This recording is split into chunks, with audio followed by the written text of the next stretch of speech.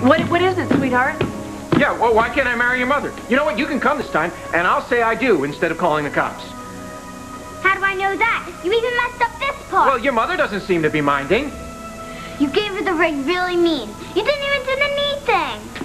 Who are you, Steven Spielberg? Don't you know anything about kissy stuff? Well, uh, I think she might have a point there. No, I, I don't. I don't. I don't know anything about kissy stuff. Then you can't marry mommy. And I think she means that. Okay, you, you, you're you're you're grounded until you're like 52. Now get out of the way.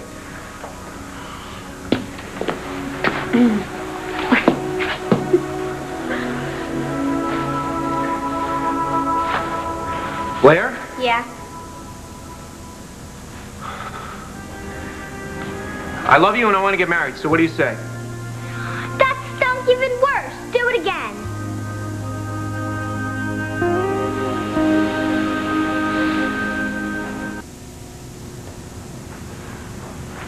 Okay, Blair, I would consider it a personal honor if you would consider being the next Mrs. Todd Manning again.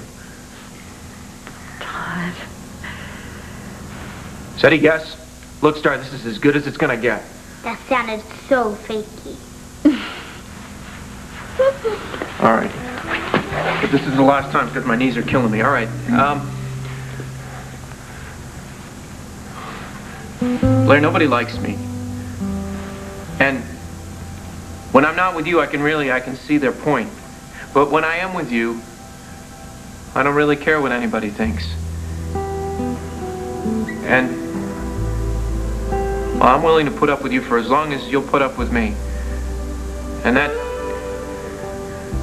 that goes into forever or even longer. And if that's not love, then I don't know what is.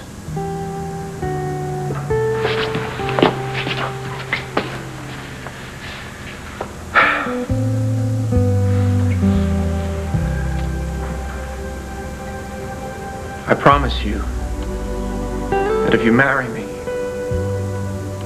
that you'll never regret it. Okay, that's not true. I mean, you'll probably regret it just about every day of your life, but, but I promise you that I won't regret it. So what do you say? We got a deal?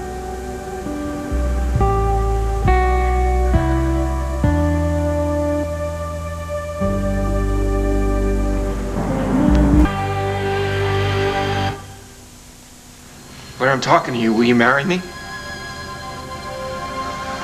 Look, Starr, come on. Somebody give me an answer.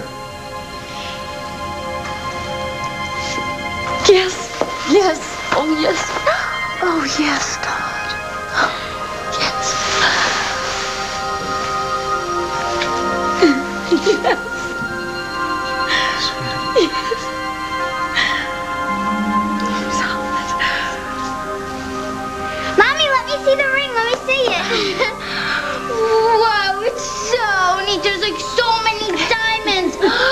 cost millions and billions and trillions of dollars. Starr, it's not the money that counts. It's what the ring symbolizes that matters. Whatever. Mommy and Daddy are getting married. Plus, it's Halloween.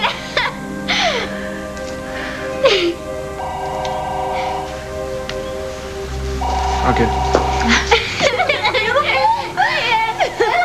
You want to try it on? yeah. Okay, just for a minute. Okay, now smile. What? Trick or treat, Daddy. Vickers. Control on ABC. What do you want? It's 10 o'clock. Do you know where Blair's child is? Yeah, right here. I meant her other child. Knock it off, Vickers. What's going on?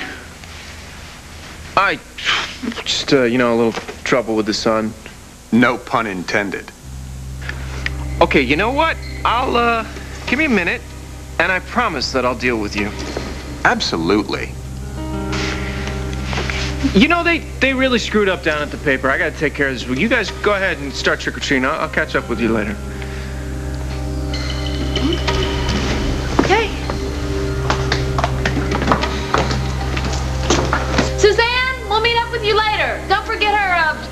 Treat bag, okay? This nun outfit isn't as good as the angel outfit last year. But I figured if I wear this, then people will think that they'll have to give me candy or else they'll go to Uh, yeah, why don't yeah. Yeah. So let's sing. Trick or treat, smell my feet, give me something good to eat. What are you trying to pull? Nothing. I just thought you might want to know where the kid is. I don't care where the kid is. As long as the kid's not here, I don't give a damn where the kid is.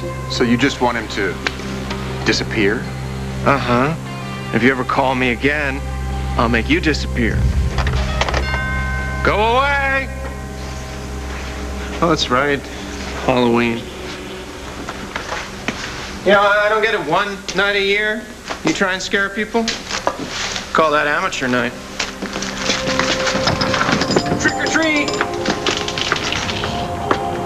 Okay, I don't get it. Who are you supposed to be, Danny Alamonte? Come on, can't you tell who I am? Oh. Hello? Trick or treat. What took you so long? Oh my goodness, you're absolutely adorable. A sweet little nun. Are we out doing our devotionals? Yeah, right. You know, you're trick-or-treating mighty late. Is it safe out there? I'm not gonna hurt anybody today. Plus, Halloween puts me in a good mood, and my nanny is out in the car. So, give me candy. No yucky stuff, no apples, and no pennies, and nothing that's good for you. Oh, candy. Gosh, Halloween, I forgot. I don't think I have any candy. See ya. Oh, but wait, wait, wait, wait, wait. Wait, I, I do have a treat for you. I do, I really do. You could come inside this beautiful, grand house and keep me company for a bit. How do you feel about that? It sounds creepy, but I gotta go to the other houses before they run out of candy. Oh, but we would have so much fun. We? Is Asa here? He gives me great treats. Plus, he gives me a lot of money. No, I'm sorry, Asa's not here. Oh. But you know, I, I just remembered. I do have great treats. I have, in fact, the best treats you'll find all evening. I promise you. Why don't you come inside and I'll just be a moment. I'll get them. Come.